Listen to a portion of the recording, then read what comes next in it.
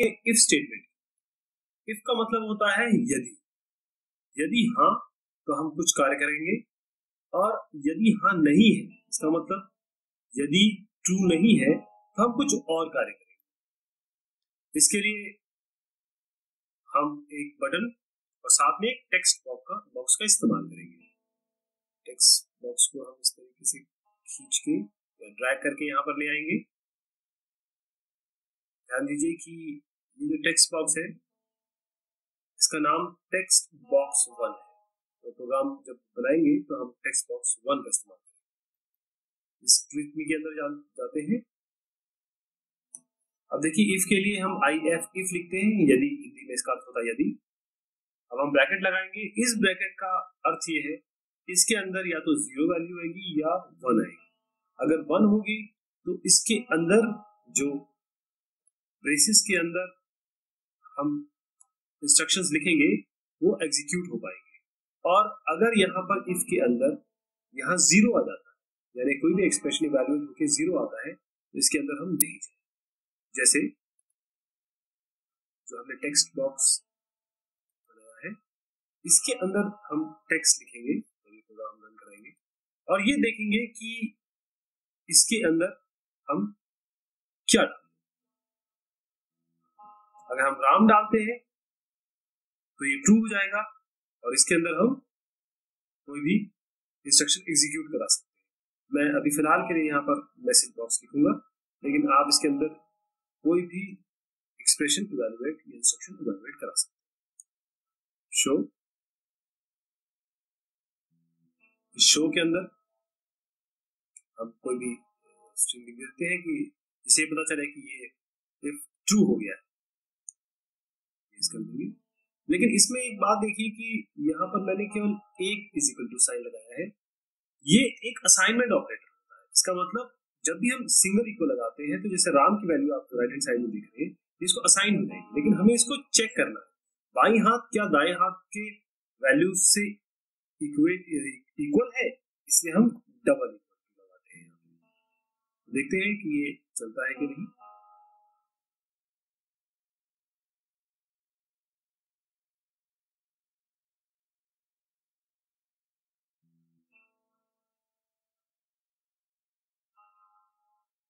हम देखेंगे।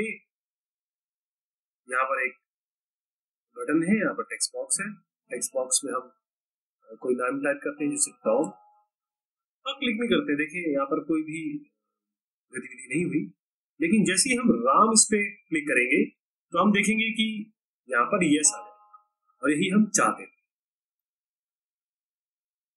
अब इससे आगे बढ़ते हैं। अब हम देखेंगे कि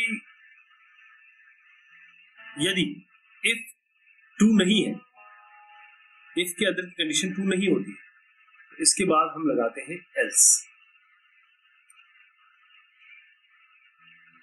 यहाँ पर हम देखेंगे कि जो इफ़ में ट्रू नहीं हो पा रहा है, उसके अनुसार ही यहाँ पर इंस्ट्रक्शन एग्जीक्यूट कराने की कोशिश करेंगे। जैसे मैं फिर से ये मैसेज बॉक्स शो कराता हूँ। आप देखिए कि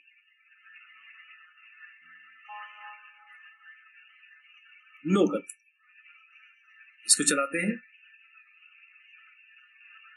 जब आप राम डालेंगे, यस आएगा, और अगर राम नहीं डालेंगे तो नो आएगा। तो फिर से राम नहीं डालते हैं।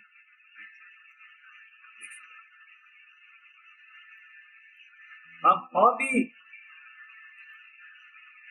इसमें फिर बदल कर सकते हैं इफ़ एल्स में। जैसे आपने इफ़ किया एल्स इफ़ दो तीन इफ़ एक साथ चेक कराना चाहते हैं तो आप एल्स इफ़ कर दीजिए। और एक कंडीशन और डाल दीजिए। Text box dot text is equal to Shyam का श्याम अगर ये राम है तो यस होगा। और अगर ये श्याम है तो नो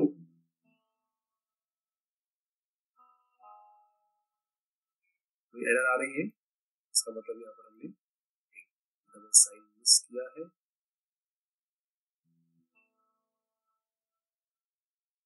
कराते हैं। अब हम यहाँ राम डालेंगे। यस आएगा। श्याम डालेंगे।